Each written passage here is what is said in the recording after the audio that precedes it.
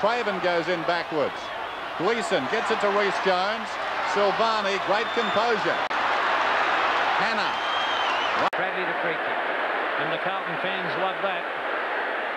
14 and a half minutes of play left as Bradley breaks away and kicks long. They want another big mark. Gallagher's there again at the back. Here's a chance. Silvagni at open goal. He kicks. And Steve Silvagni is goal. Great play, Silvagni in the back. Only irrespective of the fact they haven't won a game yet.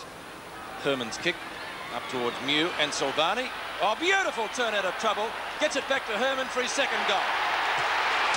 Very talented player, back from injury a few weeks back, kicks it towards Kernahan and Silvagni over the back. Ball, you'll have to outrun Patton.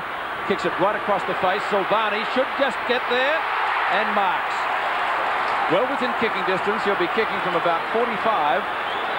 Tell you what, the fans have uh, come to their feet a bit too, Pete. Yes. Now Silvagni, he's kicked two goals, both from free kicks earlier in the game. The goal here would make it less than a kick. He's got it. Carlton finishing with a wet sail at league headquarters. With that kick coming